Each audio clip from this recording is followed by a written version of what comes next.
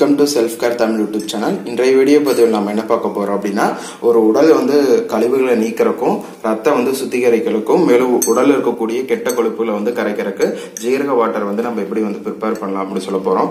இந்த வீடியோல வந்துட்டு நம்ம பார்க்கக்கூடிய இந்த ஜீரகம் வந்துட்டு அன்றாட வீட்டில் நம்ம வந்து கிடைக்கக்கூடியதான் பொதுவாக வந்து ஜீரகத்துல நமக்கு நிறைய விதமான சத்துக்கள் இருக்கு.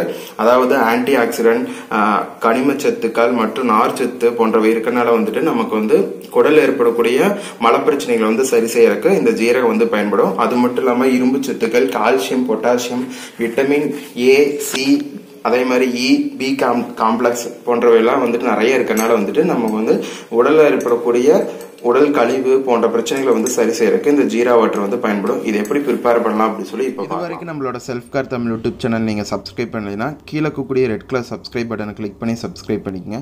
கூடவே வந்து பெல் ஐக்கானை கிளிக் பண்ணிங்க அப்படின்னா நாங்கள் ஃபர்தராக அப்டேட் பண்ணக்கூடிய எல்லா நோட்டிஃபிகேஷனும் உங்களுக்கு உடனுக்குடனே வரும். ஜீரக தண்ணி ப்ரிப்பேர் பண்ணுறதுக்கு நம்ம வந்து ஜீரகம் வந்து ஒரு ஸ்பூன் அளவுக்கு நம்ம போட்டுக்கலாம். கூட வந்துட்டு நம்ம ஒன்றரை கப் அளவுக்கு தண்ணி வந்து நம்ம ஆட் பண்ணிக்கலாம். இந்த மாதிரி ஒரு பேனில் வந்து நம்ம ஒன்றரை கப் அளவுக்கு வந்து தண்ணி ஆட் பண்ணிக்கலாம்.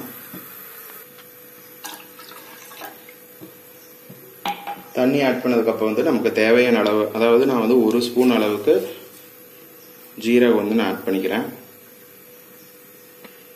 நம்ம ஊற்றின ஒன்றரை கப் தண்ணி வந்துட்டு ஒரு கப் அளவு வர வர வரைக்கும் நம்ம வந்து நல்லா வந்து பாயில் பண்ண போகிறோம் இப்போ நல்லா ஜீரகத்தில் இருக்கக்கூடிய சத்துக்கள் எல்லாமே வந்துட்டு நம்ம தண்ணியில் இறங்கிடுச்சு இதை வந்து நல்லா வந்து ஃபில்டர் பண்ணிக்கலாம்.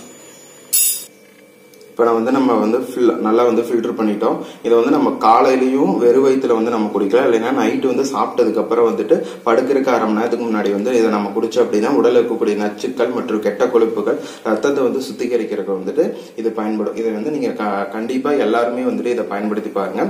எப்படி இருக்கு நம்மளோட கமெண்ட் பாக்ஸில் கமெண்ட் பண்ணுங்க. மேலும் இந்த வீடியோ உங்களுக்கு பிடிச்சிருந்தா மறக்காம செல்ஃப் கேர் தமிழ் யூடியூப் சேனலை சப்ஸ்கிரைப் பண்ணிங்க தேங்க்யூ